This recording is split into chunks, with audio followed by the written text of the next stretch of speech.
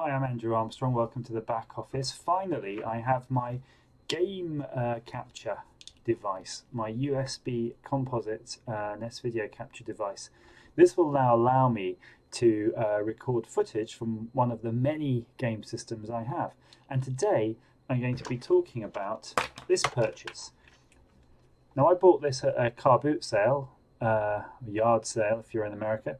Um, I believe I paid two pounds or four pounds for it. It was definitely a steal. It's basically a TV game system. It plugs in uh, via the composite connections. Um, let me show them without trying to disturb the camera too much. There we go. Composite connections.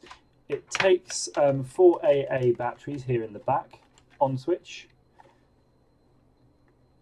um, DC power supply, and on the front a and B buttons, replicated both sides for left-handed or right-handed, a menu button that takes you back to the main menu, and a reset button. I'm not sure what the reset button does. The menu button pretty much functions as a reset button. So without any further ado, let's go and have a look at the games. First up, Space Invaders. Um, as far as I can tell, all the games on this unit are produced by Taito and they all range from between 1978 and 1980. So, uh, Space Invaders was released in 1978. It features a tank at the bottom of the screen, shooting lasers at the progressing hordes of aliens at the top. Every time the aliens reach the edge of the screen, they descend a level, working their way towards the bottom. Once they reach the bottom of the screen, it's game over for you. The tank itself is protected by several bunkers, um, and players can often use a tactic of shooting their own bunker shields uh, away, but obviously that leaves you exposed. That's pretty much as far as tactics go in this. Uh, the only other uh, thing to bear in mind is to shoot where the aliens will be in the moment, because you have to take into account your laser bullets travel time.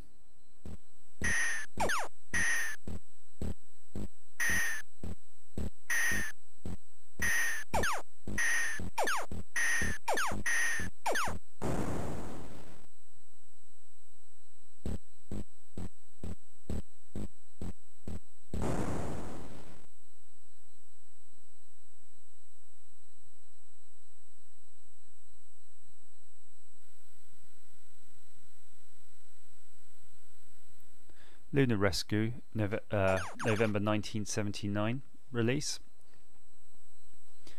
Basic premise, you start at the top of the screen, docked inside a mothership. You have to work your way through an asteroid shield, uh, asteroid shield, or an asteroid field even, um, to get to the surface on the moon, on which there are several landing pads that once you reach, uh, these little dudes will jump into your ship. You work your way back up through a whole uh, series of flying saucers, a bit like a uh, strange frogger. If you uh, hold down your shooting button, you can get a speed boost to uh, accelerate you into trouble more than safety usually. And if you actually collide with the mothership while you've got uh, one of these guys you're rescuing, they'll fall off and say, ah! So that's fun.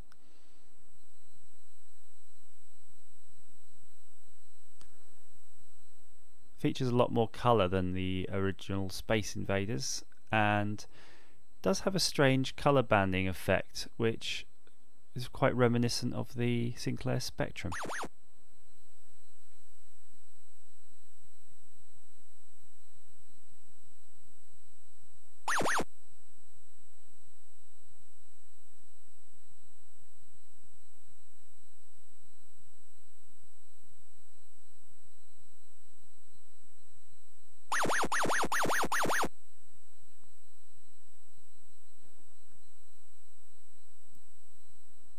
Once you've rescued all six people, or indeed killed all six people, the level is over and then the game starts again. As far as I can tell, the difference between the levels um, really is just down to speed.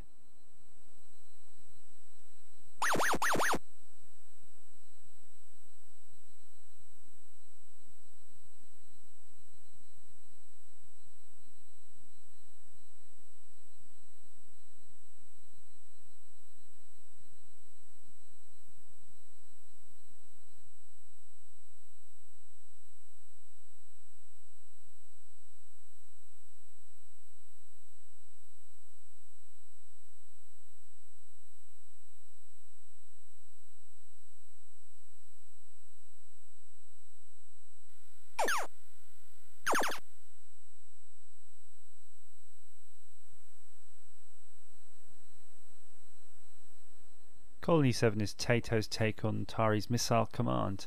Uh, this features two bases, one on the left and one on the right, fighting against hordes of aliens. You move the crosshair around with the joystick. Basically, uh, you've got two weapons. One button is this gun that you're seeing now. It's um, not really got any special features apart from there's a, a radius around the crosshair in which the it will uh, take out the enemies. If you use the second button on the unit, you'll get uh, a, a, missile that uh, fires out bullets or pixels in a radial fashion. Apparently this game in the arcade featured a microtransaction system, according to Wikipedia, in which you could purchase different weapons. So I've not been able to select any different weapons in this one, but I'll look out for maybe there's a combination or holding down button which might allow you access to some.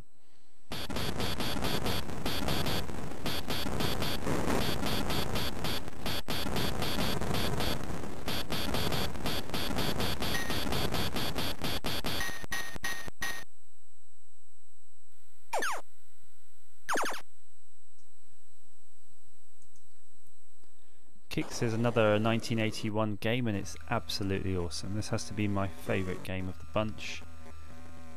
Basically, you're a line drawing tank, I suppose, if you want to use your imagination. And you're being chased along the lines by what my kids call spiders, um, but I guess they're some other kind of tank. We're nearly not sure here. Even the arcade art and graphic design uh, is as abstract as what you're seeing on the screen now. Um, but the aim of the game is really to use your slow drawing or fast drawing. You get more points for a slow filled area to draw out these blocks of area on the screen. As soon as you claim a certain percentage of the screen, you've won and you progress to the next level where it gets a little bit harder and a little bit faster my favourite technique is to try to split the screen in half right away at the beginning and then slowly work my way uh, around.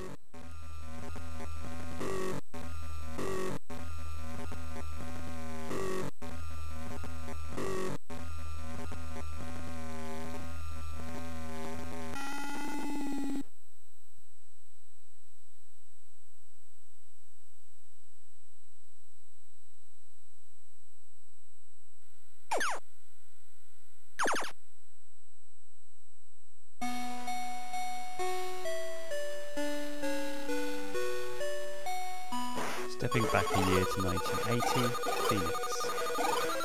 This game seemed to really stand out for me on this whole compilation because it featured some really nice background graphics. The aliens are really amazingly uh, animated. You have a shield. It's got varied rounds. It even has a boss at the end. Um, so yeah, I think this this sort of represented a real quantum leap in the sort of gameplay that was available at the time. The first two rounds are shooting uh, aliens in formation, much like Space Invaders. Every once in a while they do a kamikaze bombing run at you.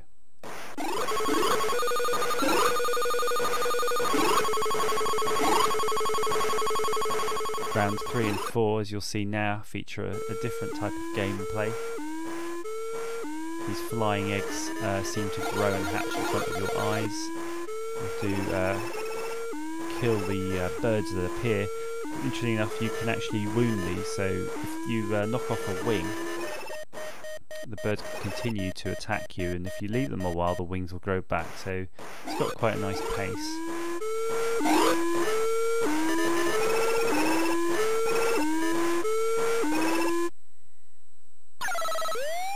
Fifth round is actually fighting the mothership, and this is really complicated. It's got this huge shield at the bottom that you've got to blast through, and then a rotating shield which you've got to take chunks out of. This is actually pretty uh, tough boss to beat. Uh, I don't think I've actually beaten it yet. I assume you have to get to the uh, little purple uh, area in the middle of the mothership to win, but I've never actually succeeded.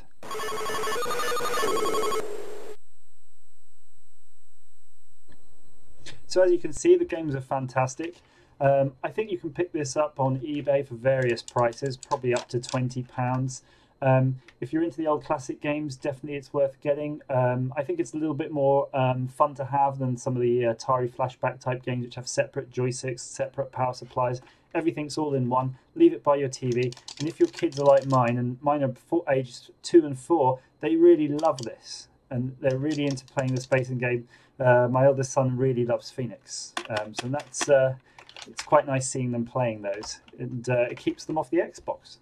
So there you go, Space Invaders. Thanks for watching.